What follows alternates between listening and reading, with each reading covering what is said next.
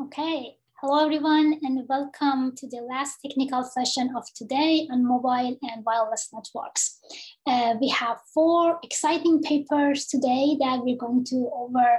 Uh, as always, leave your questions on the Slack channel and we will, after each talk, we will uh, cover as many questions as the time permits. My name is Yasaman Ghasempour and I'm with Princeton University. With that, um, uh, I'll introduce the first paper titled MMTAG, a millimeter wave backscatter network. Uh, it's going to be presented by, by Mohammad Hossein Mazaheri. Uh, Mohammad got his PhD in electrical engineering from Sharif University of Technology in Tehran in 2019. Since then, he is a postdoc fellow at University of Waterloo working on high data rate and low power IoT devices and integrated phase array transceivers at uh, millimeter wave bands.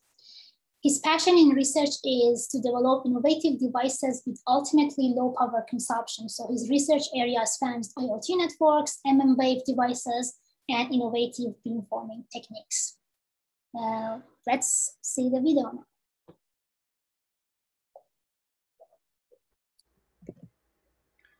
Hi everyone, I am Mohammad Mazaheri and I'm going to present our paper, A Millimeter Wave Backscatter Network.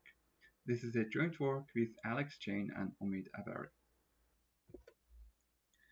I am sure most of you have heard about millimeter wave technology, which is revolutionizing wireless networks by enabling much higher speed. In fact, 5G is based on this technology, which is going to be to enable many new applications such as smart cities, smart manufacturing, and virtual reality. However, the existing millimeter wave networks consume so much power. So in this talk, I'm going to explain how we can solve this problem. Unfortunately, there is high propagation attenuation at millimeter wave, which changes the way that the client communicates with the access points. So in order to establish the communication with the access point, the client should focus its energy toward the AP rather than spreading it in every direction. This requires to have directional transmission, which means that the client has to create a narrow beam and steer it toward the access points. To create and steer a beam, millimeter wave systems generally use a phase array. Phase array is a set of antennas that the signal of each element is controlled through an RF front end. The RF front end and the transceiver consume extensive amount of power at millimeter wave, so the phase array is not a suitable choice for devices with limited energy. To solve the power consumption of the millimeter wave network and enable devices with limited energy, we present MMTAG. MMTAG is a low-cost and low-power millimeter wave communication system that uses backscatter technique. MMTAG introduces a passive beamforming and it employs a self-interference cancellation technique. We have built a prototype and tested in a custom designed PCB and I will present the results of this test in the following slides. Now, Let's have a general look over the MM tag. The MM tag consists of an access point and a node. The access point sends a sine wave which is at millimeter wave toward the node and the node either absorbs the signal or reflects it back toward the access point. By receiving the reflected signals at the access point, it can detect the 0 and 1 symbols sent by the node. As a result, the node piggybacks its, its data over the signal sent by the access point. Consequently, in this paper, we have two main challenges. The first challenge is that how can a backscatter device perform beam alignments? Consider that we, we want to have a very low power consumption device. And the second challenge is that how can the access point detect the backscatter signal from its own signal? So for now, let's focus on the first challenge, which is the beam alignments. To better understand the beam alignment challenge, I'm here showing you an access point and a node that they should align their beams toward each other to establish the communication.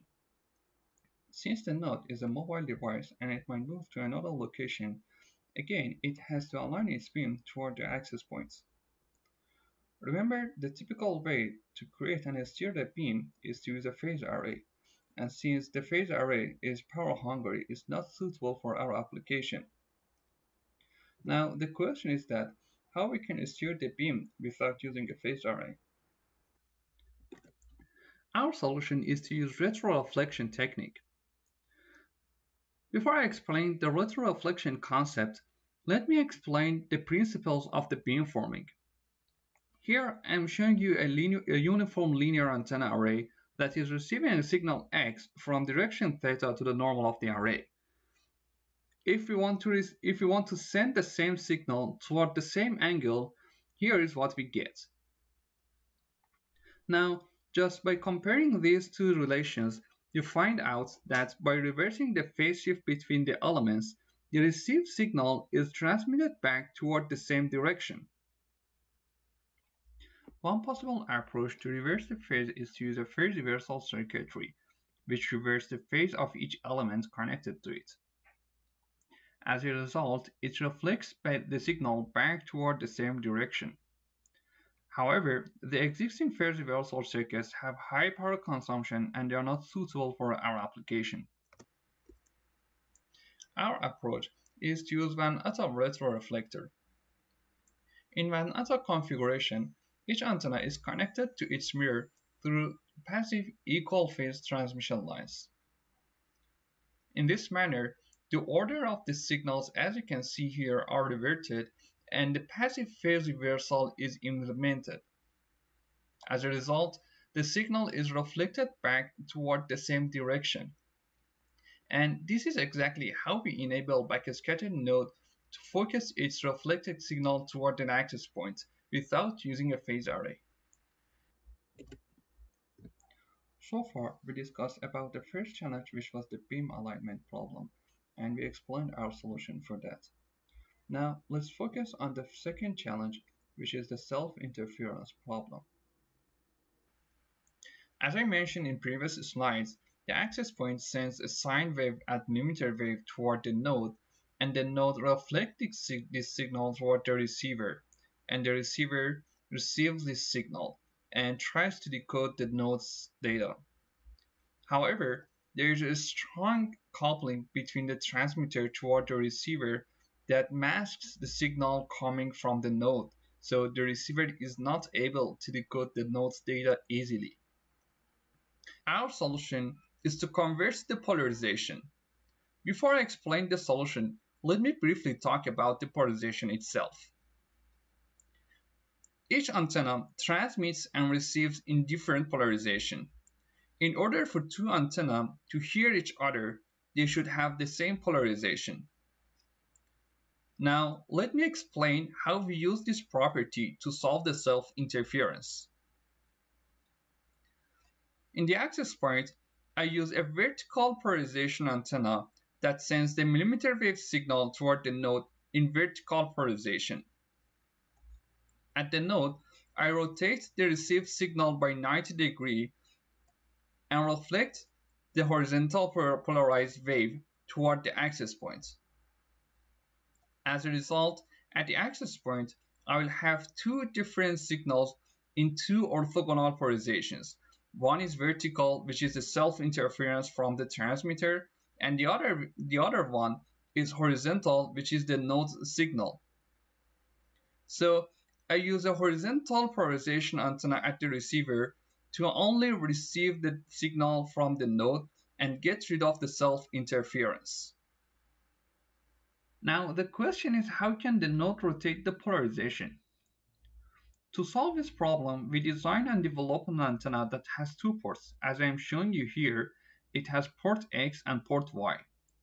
So when the signal goes through port X, the transmitting signal is going to be in X polarization, and when I put the signal on port Y, the signal goes in Y polarization. Now I'm using this antenna that we designed on our passive beamforming technique that I have already explained it to you. So basically, basically for each element of the antenna, it's using an antenna that has two ports. Now, the nice thing here is that the X port of one antenna is connected to the Y port of its mirror. So as a result, the X and Y components of the signal are exchanged. Next, to complete the polarization conversion mechanism, we need a 180 degree phase shift, which is simply implemented using transmission lines. In this way, the polarization of the reflected signal is rated for any incoming signal with any polarization angle, which enables the MM tag to support every possible orientations. And here's the implementation of the MM tag. On the left side, you can see the MM tags node, and on the right side is the MM tags testbed that a signal generator and a spectrum analyzer were used as an access point. Now let's explore the performance of the MM tag. Here I start with the beamforming. The y-axis is, is the reflected power from the node received at the access point and the x-axis is the angle of the node with respect to the AP. For comparison, first let's look at the omnidirectional antenna. As you can see, it's great because it almost works for all angles. But the problem is that the amount of reflected power is weak so it's not gonna work. Now, let's look at the results when we are using a, a fixed antenna array. Here's the result. As you can see, it's creating a nice beam, but the problem is that it only works when the tag is directly facing the access point. It's not covering all angles. And now, let's look at our results. As you can see, not only it enables high power, so we create a beam, but also our beam can work for different angles. So far, I've explained the micro benchmark evaluations. Now I'm going to explain the range and data rate of the MMTag in a real environment. For this experiment, I placed the node facing toward the access point and I recorded its reflected power at different distances from the access point. The x-axis here is the distance between the access point to the node, and the y-axis shows the node's reflected power at the access point in dBm. Here's the received power. As you can see, this power is high enough that the node is able to send its data with around 1 gigabit per second at 8 meters and with 150 megabit per second at 14 meters. So the MM tag can achieve gigabit per second data rates.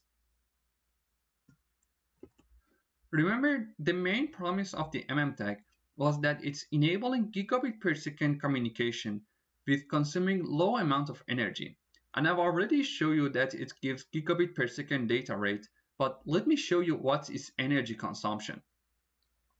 Here I'm showing you energy consumption in nanojoule per bits. And for comparison, I'm also comparing it with Wi-Fi and past millimeter wave work. All these technologies can enable almost the same data rate, except that MMTag has significantly low power consumption.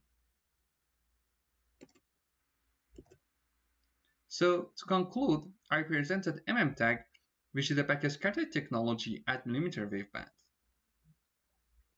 MMTag benefits from high data rate of the millimeter wave technology while achieves very low power consumption of the backscatter technology.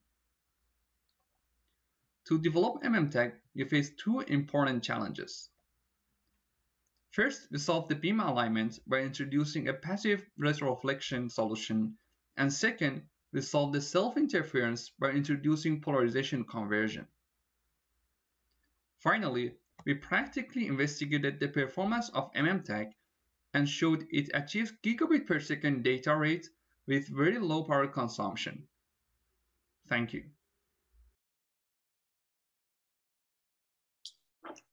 Great, thanks for the wonderful talk. Uh, let's see if we have any questions. I think I'll start with my uh, one question myself.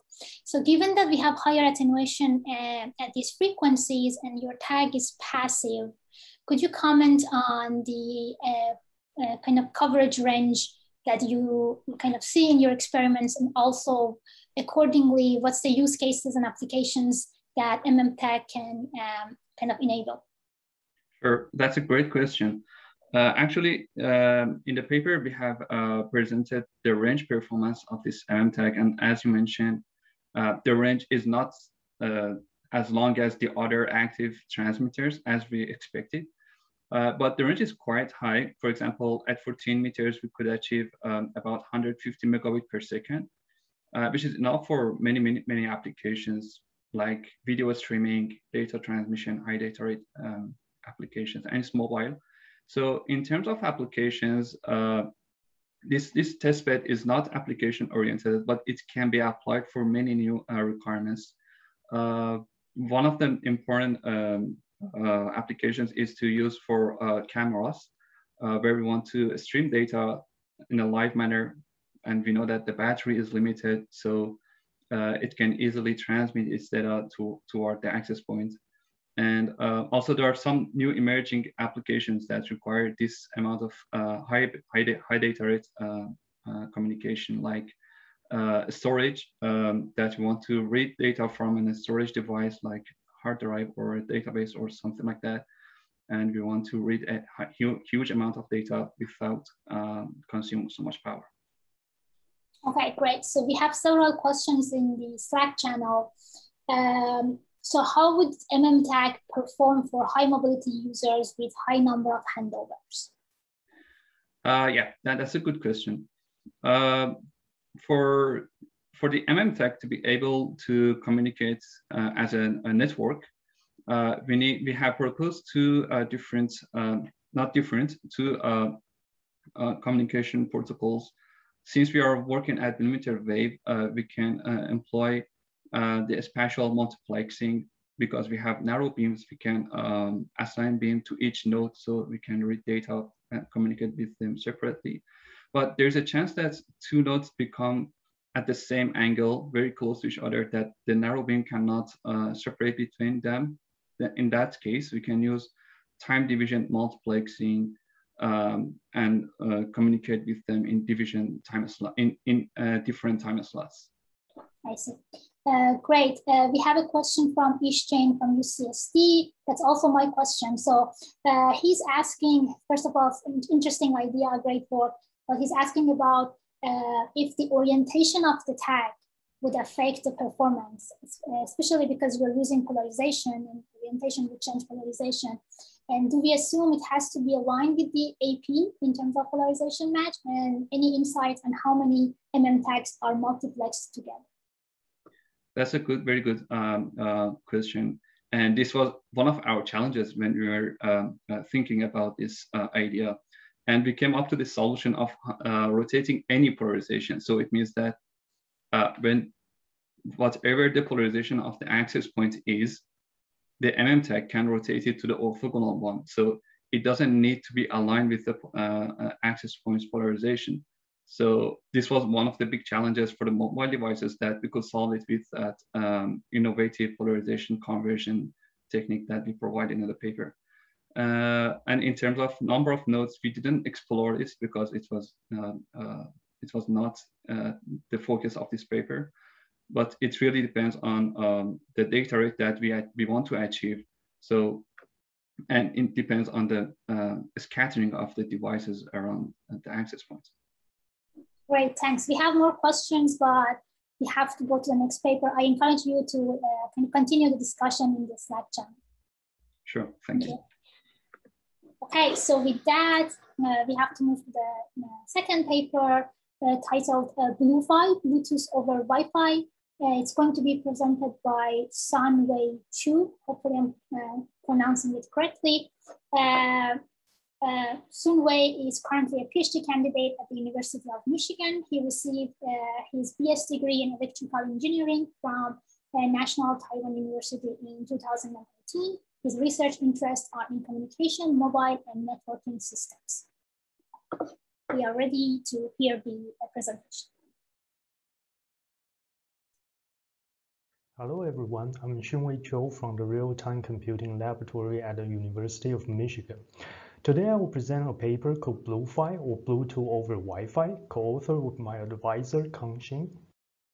Bluetooth is widely used to provide various functions. For example, Bluetooth transmitters can send location beacons, and many existing devices and software framework use Bluetooth beacons for wayfinding and navigation applications. In addition, Bluetooth is used as the protocol to wirelessly stream personal audio from a transmitter to Bluetooth headphones. However, what if there are no Bluetooth transmitters, but we still want to use Bluetooth devices? Previously, without a Bluetooth transmitter, we cannot use Bluetooth devices. However, even without Bluetooth transmitters, there might be some other wireless devices, such as Wi-Fi devices, for example, Wi-Fi access points might be installed in the environments. Some desktops or laptops may only have Wi-Fi chips. There are also USB Wi-Fi cards. Although Wi-Fi devices are previously deemed incompatible with Bluetooth devices, BlueFi enables Wi-Fi hardware to directly transmit Bluetooth signals. Specifically, with simple driver updates on Wi-Fi devices, BlueFi enables Wi-Fi hardware to directly transmit Bluetooth signals. By doing so, we can use Wi-Fi devices to transmit location beacons or stream Bluetooth audio. Since the transmitted signal looks like a conventional Bluetooth signal, no modification to the Bluetooth devices is required. However, it is very challenging to realize this because Wi-Fi and Bluetooth signals are vastly different from each other. Here are the block diagrams of a Wi-Fi transmitter and a Bluetooth transmitter. They have completely different designs. There are some cross-technology communication work. However, most of them focus on ZigBee. Bluetooth does not have ZigBee's error correction and transmit bits four times faster, so it is more challenging. Compared to prior work, BlueFi is unique in that it works with unmodified Bluetooth devices using real widely adopted Wi-Fi chips. Also, we can implement not only Bluetooth broadcasting, but also general Bluetooth applications. Finally, we design and show that all the signal processing involved can be done in real time, thus satisfying real-time applications such as audio streaming. So how can we teach Wi-Fi hardware to speak Bluetooth? First, let's look at a Wi-Fi transmitter. The key observation here is, no matter what kind of the signal the Wi-Fi hardware is transmitting, if the analog waveform looks like a legitimate Bluetooth waveform, then commodity Bluetooth devices will have no trouble in decoding the signals. Now, with this observation, the problem becomes that given an arbitrary Bluetooth waveform, we want to find the corresponding Wi-Fi bits. The reason is, if such a reverse mapping exists, then whenever we want to transmit a Bluetooth signal, we can simply apply this mapping to find the corresponding Wi-Fi bits. We will send those Wi-Fi bits to Wi-Fi cards, and the Wi-Fi hardware will transmit the Bluetooth lookalike waveform, thus enabling the communication from Wi-Fi to Bluetooth devices. To find this reverse mapping, we can simply work our way backwards. However, during this process, a good conversion is harder to find for certain blocks than others. These are the challenges when we design BlueFi. We identify four major challenges. They are the insertion of cyclic prefix or CP, the QAM modulation process, the insertion of pilots and nulls, and the forward error correction coder or FEC coder. We will now discuss these challenges and how we overcome them. The first challenge is the CP insertion. Since Wi-Fi uses OFDM, a transmitter uses cyclic prefix to mitigate inter-symbol interference. Before the CP insertion block, Wi-Fi signals are divided into multiple OFDM symbols. The CP insertion block works as follows. For each symbol, the CP insertion block copies the tail and inserts the CP before the beginning of each symbol. Additionally, real Wi-Fi chips employ symbol windowing by extending each symbol by one sample and then averaging the overlap samples. Knowing how to insert CP, we now want to find a reverse mapping. Specifically, given an arbitrary target output, we want to find the corresponding input. The requirement of this reverse mapping is that when the input is fed into a CP insertion block, the reconstruction should look most similar to the target output. We find such a reverse mapping that works well for Bluetooth systems. Specifically, suppose we have a target phase output like this, which represents Bluetooth bits 1010. Then for the corresponding input, we'll keep the middle section. For the tail, we'll copy part of the beginning and the tail of the target output. Additionally, the first sample of the input is copied from the next symbol. The input is constructed this way because when such input is sent into a CP insertion block, the reconstruction will look most similar to the target output. The next challenge is the QAM modulation process. In Wi-Fi systems, a symbol is generated in the frequency domain using the QAM modulator. Therefore, for a given symbol, we must find the corresponding QAM symbols. We work our way backwards x of f represents the frequency domain samples we need to generate, and the x hat of f represents the selecting QAM symbol. We illustrate our solution as follows. In a complex plane, we have x of f, the target frequency domain samples. However, in Wi-Fi, the complex samples must be generated by the QAM modulator, which has these 64 possibilities. Therefore, for x hat of f, we simply choose the Wi-Fi QAM symbol closest to each x of f. The third challenge is the insertion of pilots and nulls. In the frequency domain, not all 64 subcarriers are data subcarriers that are modulating using 64 QAM. Some subcarriers are modulated by pilot signals, while some other subcarriers are no subcarriers. This causes the problem to the signal reconstruction because suppose that this is the spectrum we want to reconstruct. The insertion of pilots and nulls will corrupt the spectrum and affect the output waveforms. We overcome this challenge by using frequency planning. Here is an example. Suppose that we want to transmit Bluetooth signal at 2426 MHz. The frequency can be covered by either Wi-Fi channel 2, Wi-Fi channel 3, Wi-Fi channel 4, or Wi-Fi channel 5. Among all these candidate channels, the pilots and nulls of Wi-Fi channel 3 have the least overlap with the target spectrum. Therefore, we should use Wi-Fi channel 3.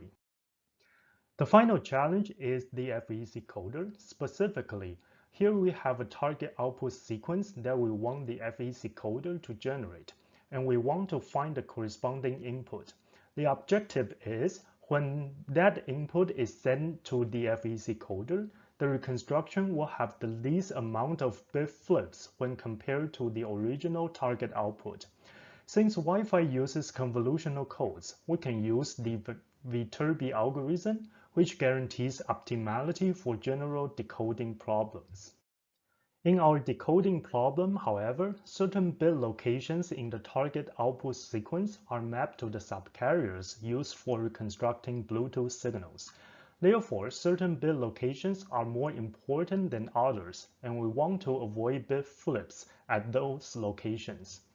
Therefore, our first solution is to modify the Viterbi algorithm with weights.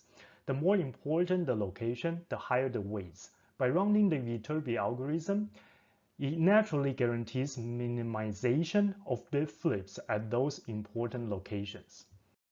We also devised a second solution for the FEC coder, which is using lookup table with partial matching. Specifically, because of the well-designed Wi-Fi codebook, it is possible to find a direct one-to-one -one mapping from part of the output sequence to an input sequence. This lookup table guarantee no bit flips at the matching locations. Furthermore, lookup tables are computationally efficient, thus enabling a real-time operation of BlueFi. BlueFi also has some additional designs to support general Bluetooth operations, including scheduling signal transmission with high-resolution timers so as to align with Bluetooth time slots. emulating frequency hopping by using different subcarriers within a single Wi-Fi channel, and using multi-slot transmission to boost throughput.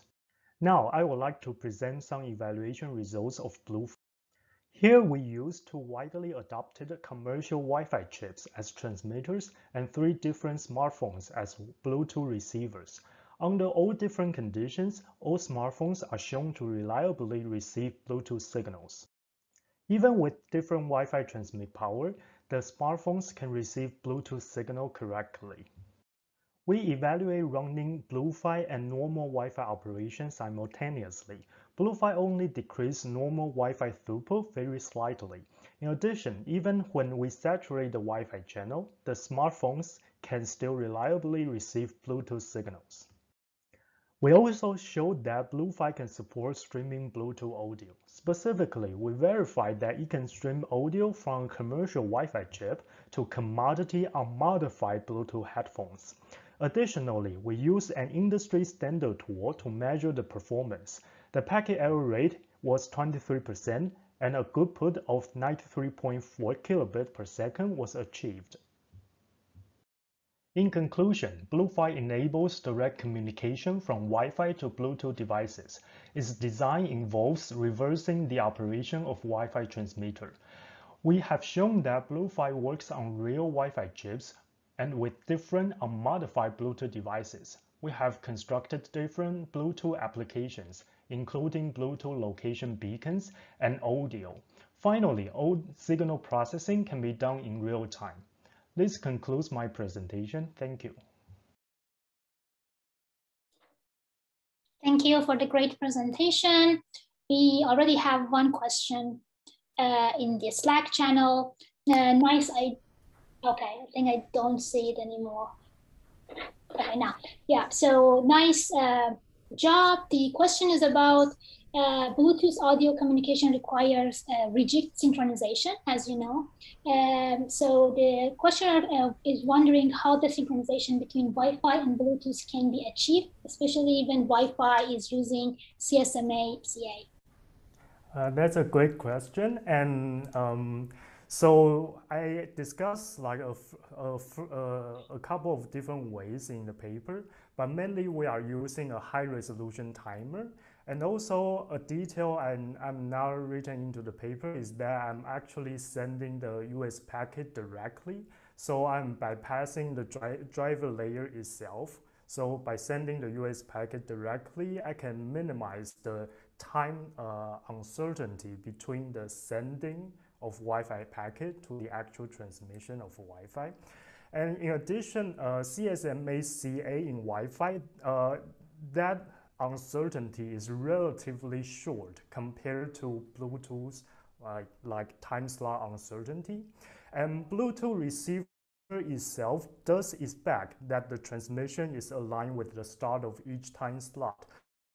But when the Bluetooth receiver does not receive any null or packets from the master, Bluetooth receiver actually have a wider window to try to resynchronize with the master, or in our cases, will be the Wi-Fi uh, Wi-Fi devices. Okay, thank you. So next question is from Siva. Um, he's saying, if I'm not mistaken, the idea enables communication from Wi-Fi devices to Bluetooth headphones, but uh, how do you plan to do the other way around? Yeah, so the other way around is actually, a, a, in my opinion, a little, uh, probably a bit more challenging problem. And that is because there are some hard theoretical limits because Bluetooth has lower uh, uh, bandwidth than Wi-Fi. So theoretically, if Wi-Fi is back a larger bandwidth, then, then in theory, we cannot implement the other way. But there uh, there does have like a couple of like prior works that discuss this possibility. So, um, so I think like one way we can look at it is look at the application examples because uh, the first reason is that the Bluetooth application is mainly uh, uh, the Bluetooth, um, for example, beacons and audio accounts for a large selection of applications. And in these two applications, we don't need to implement the, the traffic in the opposite direction. And the second reason is that uh, some prior works also discuss like this uh, direction. And some prior works discuss that using like spectrum anal and analyzer functionality in Wi-Fi chips that potentially could implement this direction. And, and finally, uh, there does have some like uh, modulation um, modulation property we might be able to use uh, because like some of the modulation in Wi-Fi is actually quite similar to Bluetooth. So it might be possible in the future we will explore, explore this direction. But again, in this work, because of the application needs, so we mainly implement the, uh, so to speak, downlink direction. Yeah. I see. And one final, very short question. So is BlueFi compatible with all Wi-Fi standards? Yeah, so this work, uh, we are utilizing the overall architecture of Wi-Fi standard and not bind to any specific hardware, uh, hardware functionality. So because we are utilizing the overall uh, modulation process that every Wi-Fi device should conform to, so that implies that this methodology is applicable to all different Wi-Fi uh, devices. Okay, thank you. We have more questions in the Slack channel. Thank you, everyone. I will reply. Yeah, yeah thank you. Okay, uh, so with that, we move on to our third paper titled uh, Two Beams Are Better Than One Towards Reliable and High Throughput Millimeter Wave Links. It's going to be presented by Ish Jain from UCSD. Uh, he's a third year PhD candidate and holds a master's degree from NYU and bachelor's from IIT Kanpur, India. He's affiliated with the Wireless Communication and Sensing Lab at UCSD, advised by uh, Dinesh uh, is passionate about new technology in 5G wireless communication, autonomous vehicles, and virtual reality. Recently, he has built a 28 gigahertz mmWave testbed using phased arrays and demonstrated a robust and high-speed wireless link in practical scenarios. His research is published in top networking conferences such as SIGCOMM, NSDI, and MobiCom. Now, let's hear the presentation. Traditional millimeter wave are thought to be single directional beam. And here, in contrast, I show that two beams are better than one. I'm Ish Jain from UC San Diego. And first, I'm going to show you my vision of the future. My car is driving me back home from my lab, loaded with sensors such as LiDARs, cameras, radars. The car share the sensor data with the infrastructure base station and other vehicles so they can extend their road vision and avoid accidents. I arrived at my home safely and put my virtual reality headset. The wireless access point is providing high quality video content to my headset over the wireless link.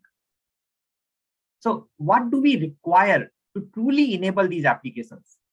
They require a high throughput wireless link, which must be reliable and easy to maintain with low overhead. We consider millimeter wave band because they provide high throughput because of abundant bandwidth compared to sub 6 gigahertz. But are they reliable?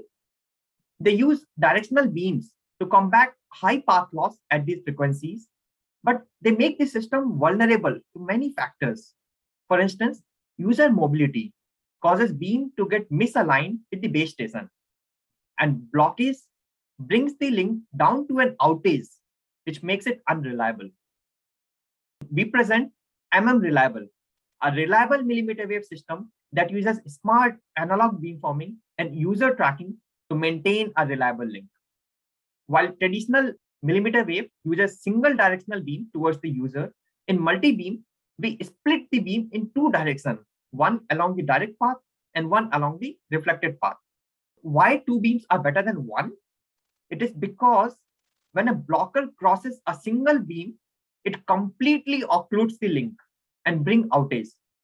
While in multi-beam, when one beam is blocked, the other one is still active, it is very unlikely that the blocker blocks all the beams at the same time.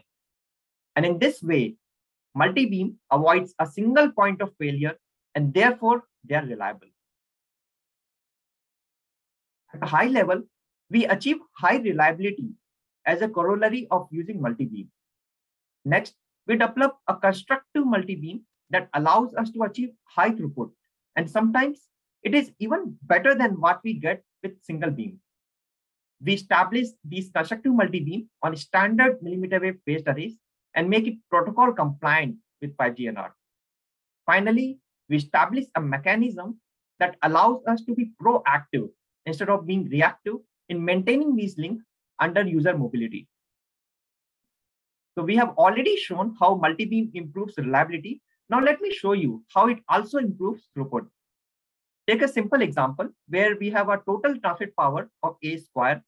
And so for single beam, we transmit the signal A and assume the channel has path loss of unity. So the received signal would be A and it leads to the SNR or the signal to noise ratio proportional to A square. Now imagine something similar for multi-beam. And here we use the same transmit power A square. And we transmit signal A by root 2 in each direction so that the total power you see A square by 2 plus A square by 2 is the same A square. The signal goes through the channel. Assume both channel has path loss of unity. So the received signal would be the sum of the two A by root 2 plus A by root 2 is root 2A. And the SNR would be a square of the magnitude would be proportional to 2a square. We see that the SNR is two times higher than single beam. And this higher SNR leads to higher throughput. It seems like a counterintuitive observation, but it comes from a very fundamental concept called maximum ratio combining, which is already known in literature.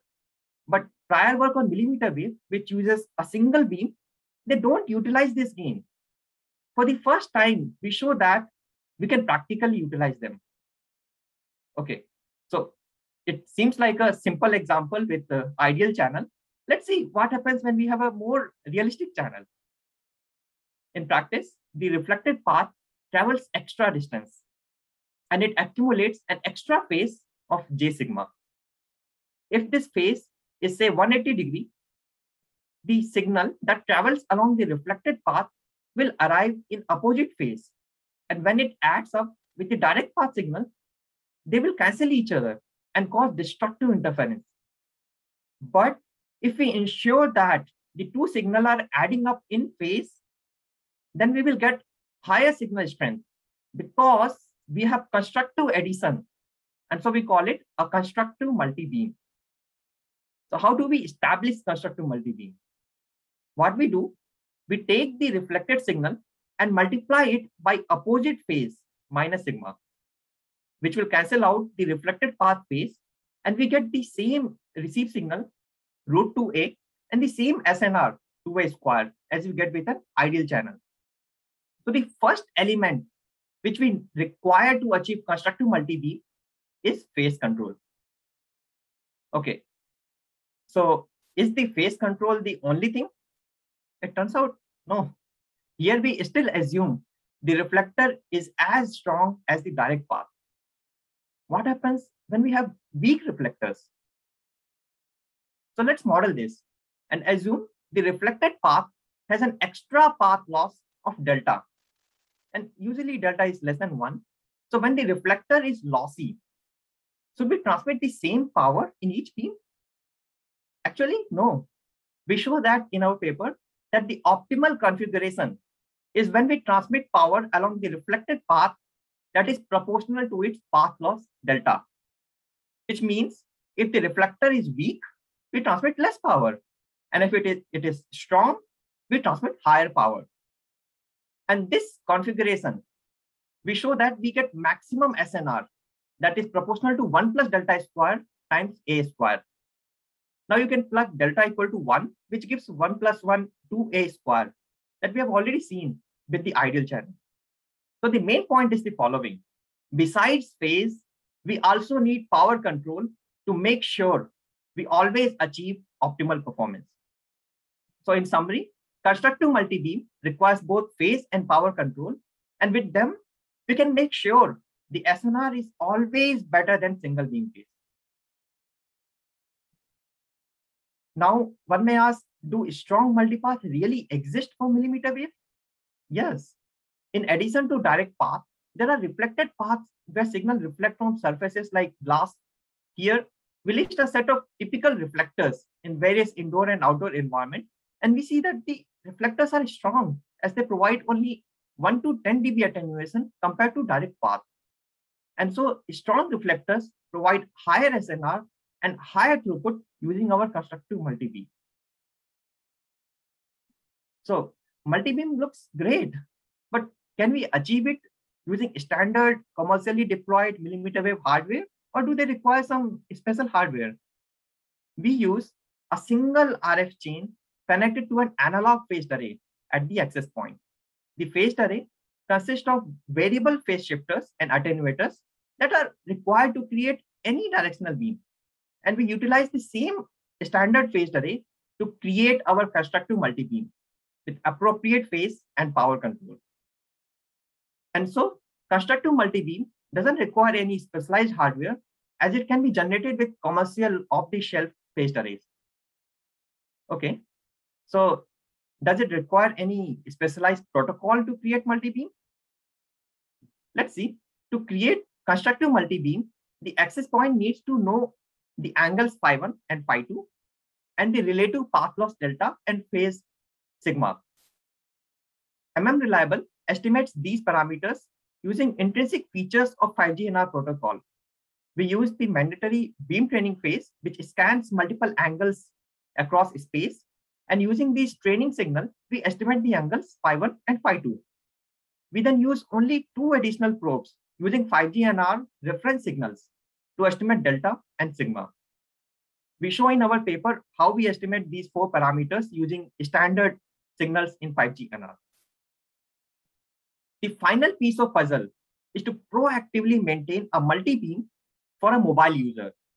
The issue is the channel parameters would become outdated over time. So we need to estimate them again and again. One way is to repeat the beam training phase to re-estimate these parameters.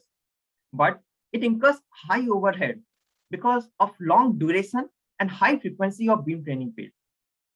And also their reactive approach because they react when the link would have already suffered an outage. We follow an alternate approach where we replace the beam training phase with multiple reference signals.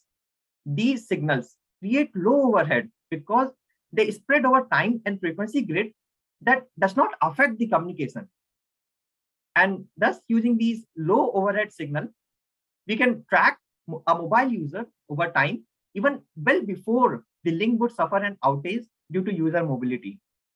And we periodically update the multi-beam parameters and thus refine multi-beam over time. The detail of these process are there in our paper.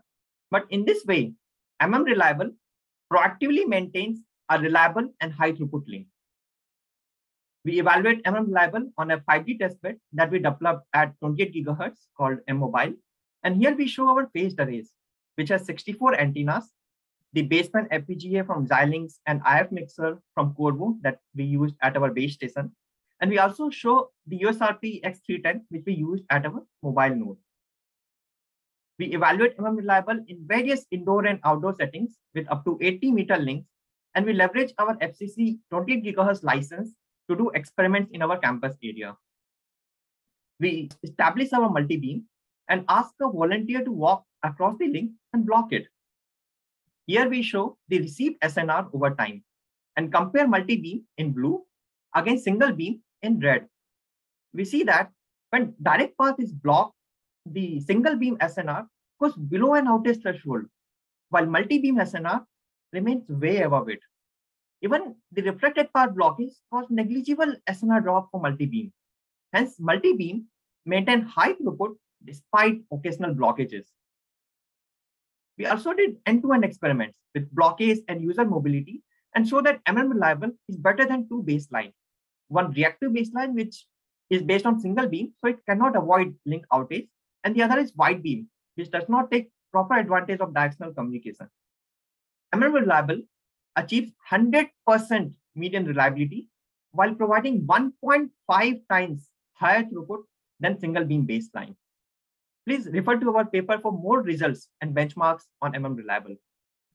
So to summarize, we show that the traditional single beam system are not optimal for millimeter wave. And our proposed multi-beam system provides better reliability and higher throughput. MM Reliable is open source and the artifacts are available in the link below. I'm very thankful to my collaborators at WCSNG Lab at UC San Diego. Thank you for listening and feel free to reach out to me if you have any questions. Thank you, Ish, for the great talk. Uh, let me see if there are any questions. I start with uh, one question of my own. So how sensitive uh, your protocol and algorithm are on the accuracy of this reflected path estimation? Because you're using coarse estimation, basically building on top, leveraging the existing sector sweep uh, signals. So uh, what's the accuracy that you achieve and how um, sensitive your algorithm on, on that accuracy? Yeah, thank you for the question. Um, we did some simulation to verify the accuracy of the phase sigma and the path loss delta. And the results are, it is not very sensitive. We show that the phase, if it is uh, different from the optimal point by up to 150 degrees, and we still achieve better than single beam. And for path loss, it is even larger, like up to 20 dB range that we verify and the results are in our paper. We achieve better than single beam, even if uh, the sigma and delta are not very accurate. But we show that uh, if our algorithm provide accurate phase and uh, delta, and uh, we achieve better. Okay, thanks. Uh, we have a question in the channel. A very cool idea and amazing work. A specific direction uh, beamforming has the advantage of high signal quality. So if you're using line of sight, your signal quality is higher. That was one of the new um, aspects of MMWave. What is the drawback of having multiple beams? How to handle interference? How much overhead due to signal recovery across multiple beams? There are multiple questions here. uh, yeah, I understand. So um, single beams, people use it because they think that it is easy to create. But here for the first time, we show that they are not optimal and multi-beams are optimal. So we should go for multi-beam. And now in our paper, we show that they are practical. Basically, we can create them with low overhead using the standard architecture and protocols. So now we basically start a new direction. And uh, the challenges, for example, uh, extending it to multiple users at the question asked is our future work.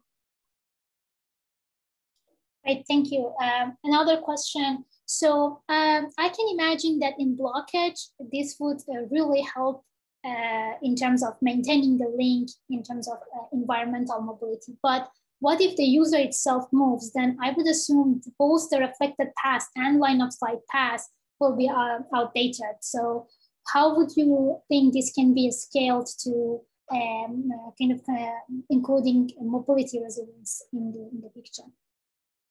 Uh, yeah, so we develop uh, user tracking algorithm. So when the user moves, uh, the angles are misaligned and our algorithm can accurately track the angle, basically estimate the angle over time without requiring uh, the beam training, uh, the exclusive scanning. So the idea, uh, as we explain in the paper, is that it leverages fine-grained measurement of how the signal power for each beam varies over time. And we show that it is very highly correlated to the shape of beam pattern, which is usually already known. And we use this insight to track the user, and it achieves very high accuracy of like up to one degree of error, as we have uh, mentioned in the paper. Okay, so you are suggesting like proactive adaptation to mobility as a result of sensing the angle of departure. Okay, great. Uh, thanks so much. Uh, with that, we move uh, to the last uh, presentation of this session. Uh, it's titled Concurrent Interference Cancellation, Decoding Multi-Packet Collisions in LoRa. The presenter is Muhammad Osama. Uh, Muhammad uh, is a second year PhD student at the University of Wisconsin-Madison. His area of interest is in wireless systems and networks. Uh, and with that, we are ready to hear the presentation. Hello, everyone. My name is Muhammad Osama Shahid. I am a graduate student at University of Wisconsin-Madison. I will be presenting concurrent interference cancellation, decoding multi-packet collisions in LoRa. It is a joint work with Millan Philipose, Krishna Chintalapudi, Professor Suman Banerjee, and my advisor Bhuvana Krishnaswamy. Recently, a number of applications have called for long-range and low-power communication. For example, smart agriculture requires wireless connectivity of soil health sensors spread over several square kilometers. Similarly, smart homes and smart cities require connectivity of IoT devices over large distances. To address the needs of these applications, a number of technologies have emerged, such as Sigfox, LoRa, and NB-IoT. Amongst these, LoRa is the dominant one, a widely used technology due to its operation in unlicensed spectrum and distribution operation, to name a few. LoRa is long-range communication protocol that attains distances of tens of kilometers and is low power. It supports data rates of up to few kilobits per second. LoRa's modulation and demodulation is different from conventional schemes. Consider frequency shifting, where data is transmitted by shifting the frequency of the carrier signal between F1 and F2. LoRa, on the other hand, uses chirp spread spectrum, CSS in short, as its physical layer modulation, which gives it capability to achieve such long range and low power. In CSS, the frequency of the signal varies linearly along with time.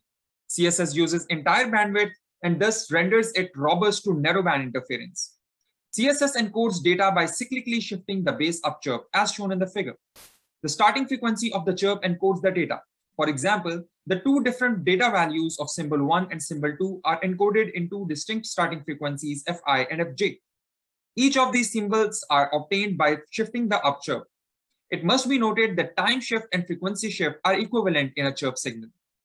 LoRa transmitters decide the bandwidth of operation and spreading factor during system setup. Spreading factor or SF is the number of bits encoded per symbol.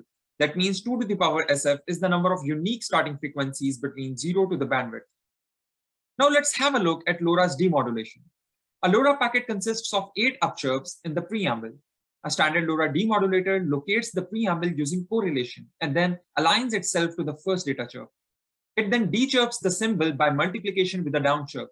This results in a signal having a constant frequency equal to the starting frequency of the chirp. Taking an FFT of the signal concentrates the energy into a single peak. The frequency index of the maximum peak thus gives the data value. LoRa's simple modulation demodulation are easy to implement and is therefore widely used.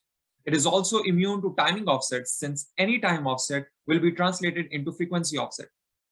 LoRa uses Aloha-based MAC protocol where transmitters operate in a distributed fashion. This poses an issue in applications requiring high density of wide area deployments, such as hundreds of devices in a farmland. As the network scale increases, the probability of packet collisions increases. When the LoRa demodulator takes the FFT of the dechirp signal, multiple peaks appear due to the interfering packets. It then does not know which peak to choose and therefore fails at demodulating the symbols accurately. Recently, there has been a lot of interest in decoding LoRa packet collisions and demodulate each packet from the interfered signal. Choir is one of the pioneering works in this area. Choir leverages hardware imperfections to disentangle each packet. F-track is another work that uses short-time Fourier transform to look for frequency track continuity to identify accurate frequencies. N-scale, on the other hand, tries to translate timing offsets to FFT peak heights through non-stationary signal scaling. As we have seen that LoRa chirps have time and frequency variation, majority of the existing works operate either on time domain or frequency domain to get the best of one of them. We present concurrent interference cancellation, CIC, a novel demodulator that uses both time and frequency components of the collided signal to decode individual packets. Let's look at three packet collision scenario as in the figure. Consider this window of demodulation. We expect C1 to be the peak frequency in the FFT but interfering peaks of packet number 2, C21 and C22 also show up in the FFT. And similarly for packet number 3, C31 and C32 also show up in the FFT. When standard LoRa demodulator demodulates this window, it will choose C22, the blue peak, because it is the highest peak, whereas C1, the red peak, is the true symbol that should have been demodulated. As we can see, simple peak detection algorithm of standard LoRa does not help here.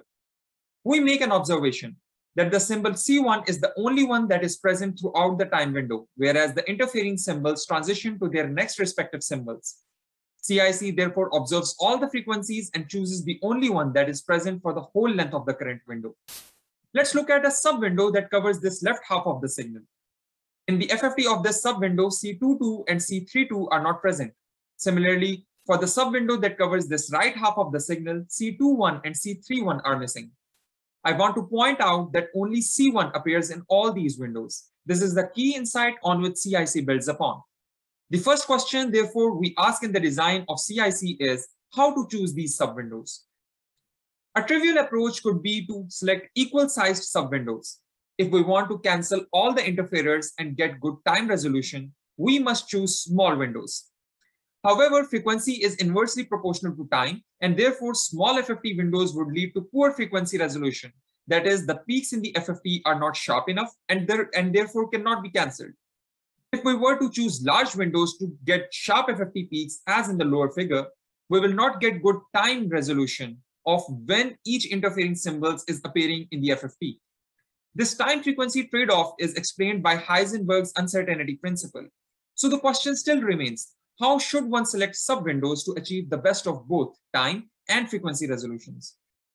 We propose to address this by determining the knowledge of symbol boundaries of colliding packets we have built a framework where we detect the start of the colliding packets in a given session using preamble correlation, similar to standard LoRa. Since LoRa symbol durations are fixed, we determine the symbol boundaries of each packet in this session from the packet start time. Then we iteratively demodulate each packet. Consider we are demodulating packet number one in this case. We determine the boundaries of packet number two and three to be as shown by the bidirectional arrows in the figure. In order to cancel the interfering symbols of packet number two, we need the best frequency resolution for packet number two. First, we choose two sub-windows that cover most of the packet number two. Similarly, for packet number three, we choose a window to be precisely up to the boundary of packet number three, such that it has best frequency resolution for both symbols in packet number three. In the next step, CIC takes spectral intersection of FFTs for each interfering packet FFT intersection corresponding to packet number two sub-windows removes all the peaks of packet number two. And similarly, FFT intersection corresponding to packet number three sub-windows removes all the peaks of packet number three. Finally, the intersection with the main FFT recovers C1 peak with the best frequency resolution because only C1 was present in all the windows. In our paper, we derived the limits of time frequency resolution that is achievable using CIC. This poses the fundamental limitation of the interference cancellation of CIC. We have also identified and addressed some corner cases such as two consecutive symbols falling into the same bin or two interfering symbols falling into the same bin, to name a few. One such scenario is the impact of near-far effect, where transmitters closer to the receiver with high SNR dominates those with low SNR. To address such problems, we propose to use features such as power and CFO to filter out interfering symbols. While locating packets, CIC determines power of each packet and then uses a power threshold to remove peaks that are not within the power range of the packet of interest. We have also implemented some prior work as part of CIC feature filtering, where we filter out interfering peaks based on their carrier frequency offsets. Putting all these components together, we have built a CIC pipeline. CIC starts by locating packets in a received buffer and then detects symbol boundary for each one of them. Then it iteratively decodes each packet. While decoding each, we keep symbol boundaries of other packets and then select the sub-windows that promise best available time and frequency resolution. And the CIC spectral intersection filters out interfering peaks. To address issues like near-far effect, CIC uses additional features like power and CFO filtering. At the end, CIC spectral edge difference outputs one single symbol in case if there are still multiple candidates left. Due to time constraint, we will not be covering spectral edge difference in this presentation, but kindly refer to our paper for details on that. As opposed to standard LoRa, we have separate blocks for demodulation and decoding. CIC demodulator outputs demodulated symbols for all interfering packets that are decoded parallelly using separate blocks of standard LoRa decoder. We have CIC implementation in MATLAB, Python, and GNU Radio, which can be found on the GitHub link at the bottom. We evaluated CIC in four different deployment scenarios. In each scenario, a total of 20 LoRa nodes transmitted packets at a predetermined transmit rate. We used Adafruit LoRa boards as transmitter and USRP B200 as a base station. the scenarios D1 and D4 test CIC in very high and very low SNRs respectively, as evident from the SNR values. Due to time constraint, I will be presenting results only for these two scenarios of D1 and D4. Please find more details in the paper. We compare CIC against standard LoRa, FTrack, and Choir. Here we plot the overall network throughput as a function of increasing aggregate rate. That means each node randomly transmits packets such that the average aggregate number of packets per second increases as seen in the x-axis. As the aggregate rate increases, the probability of two or more packets colliding increases. In scenario D1 with high SNR, at high aggregate rate, CIC outperforms FTrack by four times and Choir and standard LoRa by over 45 times. This improvement is due to the best resolution in time and frequency that is achieved by CIC. At higher rates and higher probability of collisions, best resolution in time as well as in frequency is the key to decoding packets. This is evident at low aggregate rates where the improvement is smaller. This is due to lower probability of collisions. Therefore, CIC is capable of decoding packets even at higher aggregate rates, thus improving overall network throughput. At low SNR scenario D4, a similar trend can be observed. Although the absolute throughput of CIC is lower in D4 compared to D1 due to low SNR, the relative improvement in throughput over existing techniques is still high. In scenarios such as D4, where the nodes have varying SNRs, additional features such as power filtering and CFO filtering improves the decodability of collided packets over FTrack and standard LoRa. Please refer to our paper for more results and details on the impact of each feature on the overall performance of CIC. I want to thank you all for your time and I'm happy to answer further questions. Thank you, Mohammed. That was a great talk. Uh, so I'll start with the question. Uh, maybe you said and I missed it. So it seems that um, the accuracy significantly depends on the preamble detection right? So how would sure. uh, you take care of that? What's the accuracy that you achieved and what are the sources of error that might happen? Yeah, so that's a, uh, thanks for the question. That's a great question. And that is true that CIC uh, depends upon the accurate detection of preamble. And uh, so the uh, um, the thing is that we are using preamble correlation as opposed to other works uh, like standard LoRa uses just the dechirping operation and and looks for the eight consecutive uh, peaks, whereas a CIC performs correlation, and correlation gives better accuracy in detection uh, in the detection of preamble. Yes, there are some sources of error. For example, um, CIC's packet detection accuracy degrades if we move uh, in the in if we move uh, in the SNR domains that are less than minus 10 dB. In that scenario, CIC's packet detection uh, degrades, uh, and standard LoRa is still able to detect packets in, th- in those scenarios, but standard LoRa is not able to resolve collisions in those scenarios. So there is some sort of trade-off that we are talking about over here. So um, yeah, uh, uh the preamble detection accuracy is uh, is the strong point on which you know CIC builds upon. Okay, great, thanks. Uh, we have a question in the channel. Does the use of other spectrum uh, analysis algorithms other than FFT change the result? Um, uh, sorry, I, I didn't uh, get that. Uh, so. The question is asking if you use other spectrum analysis algorithm, not using FFT basically, uh, would that change your algorithm? Or is so basically, uh, so the thing is that um, CIC uses chirp spread spectrum. And chirp spread, in chirp spread spectrum, the uh, frequency of the signal varies linearly with time. So it's a chirp signal. And there is this process of dechirping that is involved, and after which we have to take the FFT. So taking the FFT in the final signal is the core of uh, LoRa signals. We can't get away with that. But yes, there are different techniques that are already there. For example, Choir uh, and FTrack. Um, so, so Choir is something that we are already using. Uh, in our work as part of a module that increases that uh, that improves the performance of CIC.